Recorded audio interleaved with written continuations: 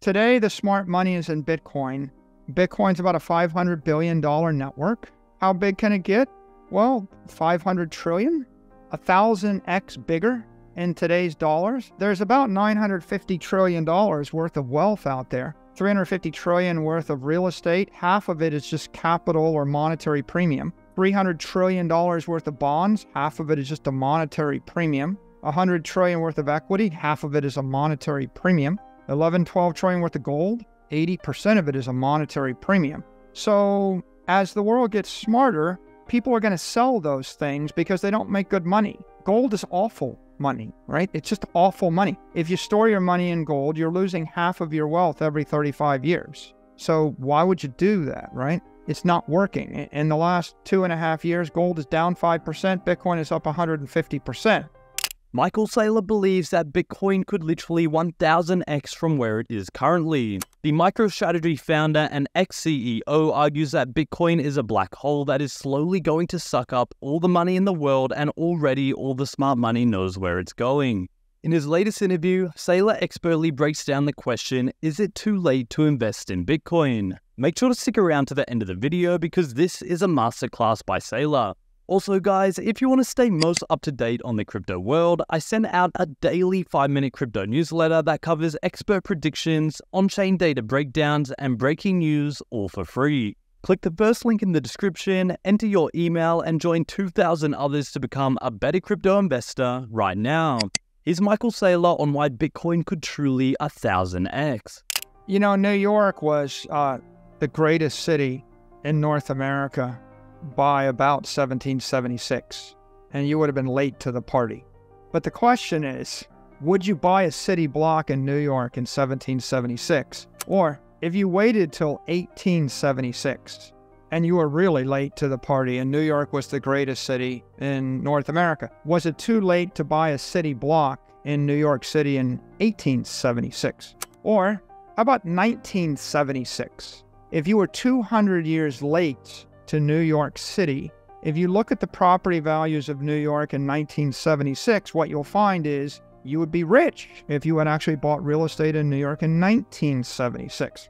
So the answer to the issue is in every economic system, every economic empire, there's always one city, one place that every one network where people gravitate to. And in the ancient Med, it was Carthage for a while, and then it was Rome, and then it was Venice, and eventually, the French Empire terminated in Paris, and the British Empire terminated in London. And then eventually, the, uh, uh, the American uh, economic empire terminated in New York. And there are reasons why. It's just everybody comes together in that place. Even today, New York is still the economic epicenter of the United States. And so Bitcoin represents the economic epicenter of cyberspace. It is the one place where if I want to create a, a, digital application, if I want to move money at the speed of light, and I live in Singapore, I'm using Bitcoin. If I live in Paris, I'm using Bitcoin. If I live in Moscow, I'm using Bitcoin. If I live in China, I'm using Bitcoin. So you see, everybody in the world that actually believes in the idea of a digital asset that wants a that wants to build this as a treasury reserve asset, they're going to gravitate toward the most powerful network. Why? Because everybody else is gravitating there. Why, why do people go to New York? Because the smart money is in New York. I could go to New York 20 years ago. I could take 10 meetings. I could raise a billion dollars in two days. So why would we be so stupid as to go to New York? Well, because that's where the money is. The money is in New York. So I went. And what did I bring with me? I brought my brain power and I built my business there. And and so I then reinforced that network effect. Today the smart money is in Bitcoin. Bitcoin's about a 500 billion dollar network. How big can it get? Well, 500 trillion, a thousand X bigger in today's dollars. There's about 950 trillion dollars worth of wealth out there. 350 trillion worth of real estate. Half of it is just capital or monetary premium. 300 trillion dollars worth of bonds. Half of it is just a monetary premium. 100 trillion worth of equity. Half of it is a monetary premium. 11, 12 trillion worth of gold. 80% of it is a monetary premium. So as the world gets smarter, people are going to sell those things because they don't make good money. Gold is awful money, right? It's just awful money. If you store your money in gold, you're losing half of your wealth every 35 years. So why would you do that, right? It's not working. In the last two and a half years, gold is down 5%, Bitcoin is up 150%, right? The smart money is clearly running away from it. And in time, people will dump their gold. And when they dump their gold, Bitcoin will jump by a factor of 10. So the answer to the question of why you should buy Bitcoin is that Bitcoin represents one block in, in cyber New York, which has got 21 million blocks for all of eternity. And in the year 2500, people are going to be moving to cyber New York, right? I mean, New York was founded a long time ago, right? The only thing that keeps people from continuing to come into the, the great city, whether it's the New York or the London or the Paris, is when the economic flows move from the physical domain to the digital domain. As long as you did business in an analog world where you had to like put on a suit and walk into a building and meet with people, then you're going to see London and Paris and Tokyo and Hong Kong be great cities. When the, the economy moves to the digital realm, and you don't have to put on a suit and walk into a building and you can have a zoom meeting of 20 people in 20 places and raise a billion dollars in a day right? Then some of the economic energy drains out of the city networks and it drains into the crypto network. And so buying a bitcoin whether it's uh, one bitcoin or, or a million satoshis or a hundred thousand satoshis or one satoshi is just like buying into New York City 250 years ago. Yeah, sure, you're late. People got there 100 years before you. Okay. Well, in this case, someone got there 14 years before you. You know, I once tweeted, you know, fa- very famously, I said, I think Bitcoin is, you know, going the way of online gambling. And I think Bitcoin is like $100 a coin then. Okay. And I was wrong. I didn't need it. I was wrong.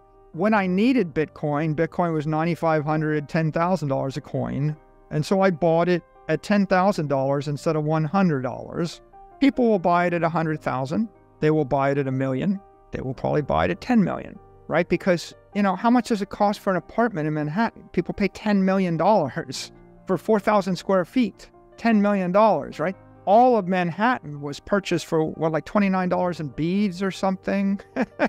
if you roll the clock back, some nothing you can't really get caught up in what the unit price is. You have to ask the question what is the dominant network in cyberspace? And Bitcoin is the dominant network. And the reason it's the dominant network is a bunch of things. One, all the smart money arrived there, right? If all the smart people that wanted a decentralized, non sovereign store of value crypto network, if they all showed up, looked at 10,000 choices and picked this one and put all their money on it, right? That's like all the smart people. They showed up in America and they picked New York. You know why they picked New York? New York is sitting on 200 million year old granite schist, right? It's indestructible as an island, Manhattan. It's sitting between a bunch of rivers. It's sitting in front of one of the world's great harbors, and it's sitting at the mouth of the Hudson River, which is a mile wide, deep, and it goes straight right into the heart of the country. So if you were picking a port city, was the most rock solid geographically sound, logistically sound, you know, well engineered port you could possibly imagine. You know, and, so it matters.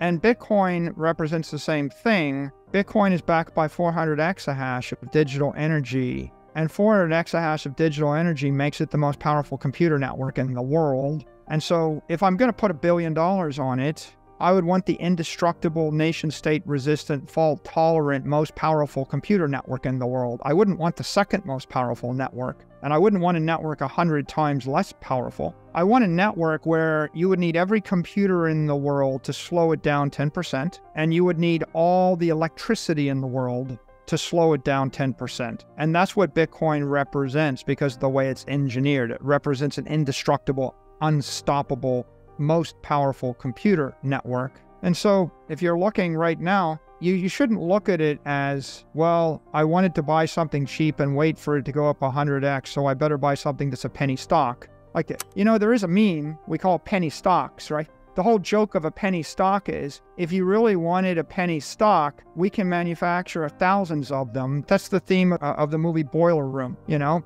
The Wolf of Wall Street did that. It's been going on for hundreds of years. People manufacture a penny stock and they tell you you'll buy it for a penny, it's going to go up to five bucks, you're going to make 500 extra money. That's not what you want. you want a cheap apartment? I'll sell you a $4 million apartment in New York, which looks expensive, or I'll sell you a $42,000 apartment, you know, in some random suburb, you know, in a third world country. But the point really is which is the better real estate investment? It's not a matter of the, the cost to buy the thing, it's a question of how secure is the network you're buying into. And everybody will tell you you buy the beachfront property in Palm Beach or Miami Beach, you're better off to buy a house on land than to buy the apartment. You're better off to buy the apartment in the good building than the bad building, and you're better off to buy the apartment in the good neighborhood than the bad neighborhood. And uh, you're better off to buy the real estate in the capital city of Rome or London or Paris or New York than to buy the real estate in